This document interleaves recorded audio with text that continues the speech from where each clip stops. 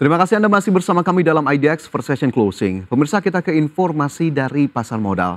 PT AKR Korporindo Tbk akan membagikan dividen interim sebesar 986,85 miliar rupiah. Pembagian dividen tersebut berdasarkan kinerja tengah tahun perseroan yang membukukan laba periode berjalan sebesar 1,03 triliun dan saldo laba ditahan sebesar 9,12 triliun rupiah. PT AKR Korporindo Tbk akan membagikan dividen interim untuk tahun buku 2023 sebesar Rp50 per saham atau senilai 986,85 miliar rupiah.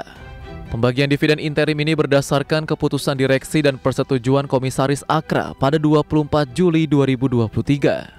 Presiden Direktur AKR Korporindo Haryanto Adikusumo dalam pernyataannya menyebutkan Pembagian dividen interim ini didasari oleh data keuangan AKR per 30 Juni 2023 yang terdiri atas saldo laba ditahan mencapai 9,12 triliun rupiah, laba periode berjalan yang dapat diatribusikan kepada pemilik induk 1,03 triliun rupiah, dan ekuitas 10,98 triliun rupiah. Pembagian dividen interim tersebut dijadwalkan akan dilakukan pada 16 Agustus 2023. Adapun pertumbuhan laba bersih sebesar 8% yang telah dicatatkan AKR Korporindo pada pertengahan tahun ini justru diperoleh pada saat terjadi penurunan pendapatan secara konsolidasi.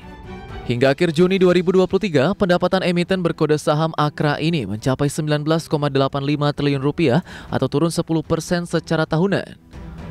Penurunan ini disebabkan oleh harga jual yang lebih rendah sejalan dengan penurunan harga minyak bumi dan bahan kimia. Meski demikian, AKR mampu menekan beban pokok penjualan dan pendapatan menjadi 18,04 triliun rupiah dari sebelumnya 20,49 triliun. Hal inilah yang mendorong pertumbuhan laba kotor dan laba bersih perusahaan. Berbagai sumber IDX Channel.